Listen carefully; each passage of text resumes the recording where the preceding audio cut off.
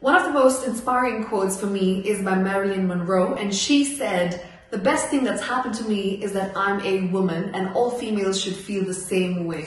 So this International Women's Day, I urge you to continue being unapologetic about being a woman, be bold, fierce in everything you do and continue spreading your sunshine wherever you go. Happy International Women's Day from me, Shiksha Arora.